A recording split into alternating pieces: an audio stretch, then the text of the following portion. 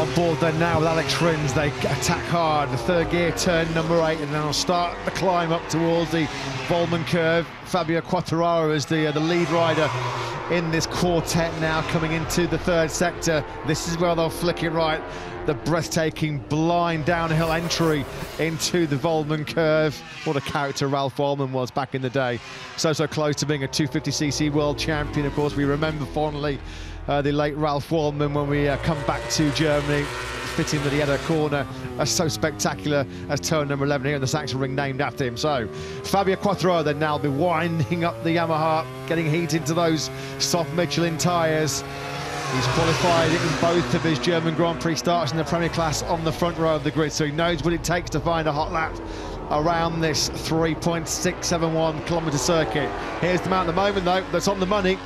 It's Miller that leads the way with that 122.11, just 700 clear of Aleix Espargaro, who's got down to a 122.84. The Aprilia man then sets his best time of the weekend so far to keep himself second.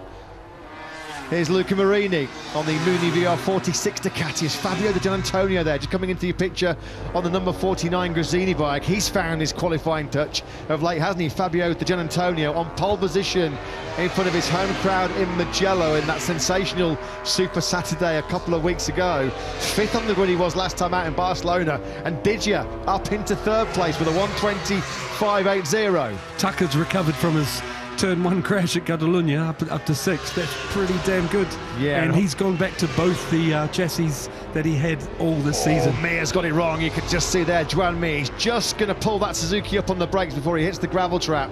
He lost the front a few laps ago, mid-turn in the first corner. We've seen so many riders make that mistake, running off into the first corner. It's such an easy mistake to make a tricky, gnarly, tight turn one, that one, Simon. Well, the last turn is a nightmare to try and keep the front on the ground. You're talking a second gear turn that goes uphill and then levels out, so makes the front leap off the ground. The riders have to keep it. This is here, perfect timing. So they have to drop the drop the uh, rear device and swerve left to keep the uh, the, the, front on the ground for so, longer. Bagnaia, sorry Simon, just to cut in, Pecco Bagnaia then has just set a new all-time lap record here around the Sachsenring.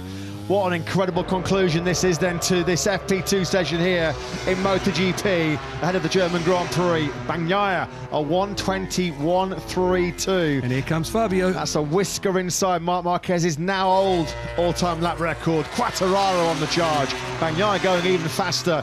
We thought coming into this weekend we would see the first sub-120 lap around this Sachsenring circuit. We may well be on course for history here in FP2. Miller over the line. He's going to stay in second place as it stands. Can Pecco Bagnaia then improve on that 121.32? If he carries this lap on through, he's halfway through the third sector right now.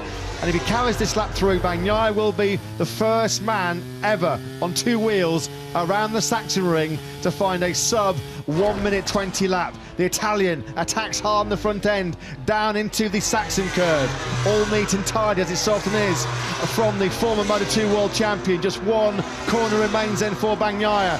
Is this history beckoning for Bagnaia? A 121.32 is his best lap of the session so far. Oh, how close was that?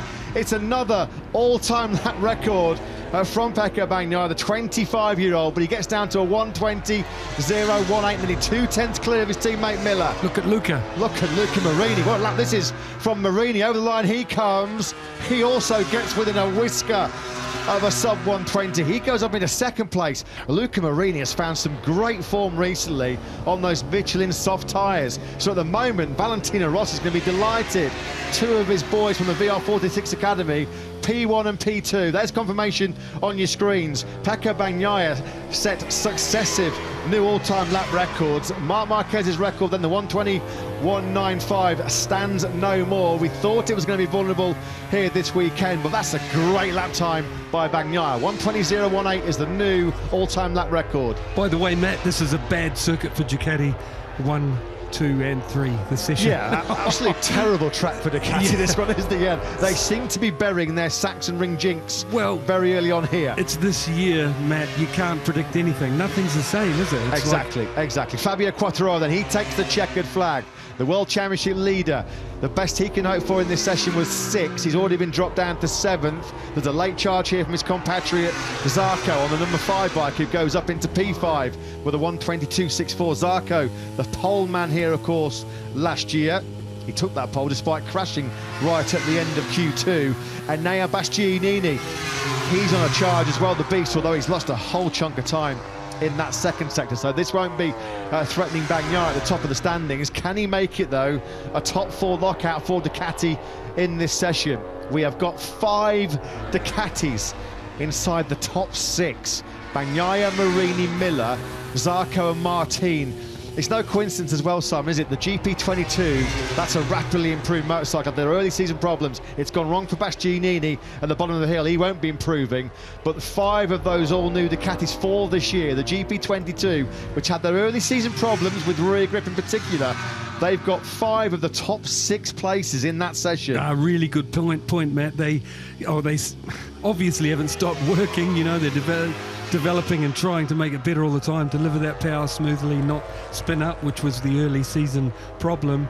Uh, looks like they've improved that, but also, like I said earlier this session, they've got new parts which look to me like they're trying to work out that uh, front device as well, like improve that. That's a top job by Pecco Bagnaia because he was very, very frustrated, very deflated after the first corner exit in Barcelona through no fault of his own. He was pretty confident he might have had something for Quartararo uh, in that uh, Catalunya clash. It didn't happen. Of course, he was taken out in that horrible incident involving Taka Nakagami, whose head made contact with Bagnaia's rear tyre. Really fortunate for Nakagami to walk away relatively unscathed from that. And Nakagami did a good job in that session.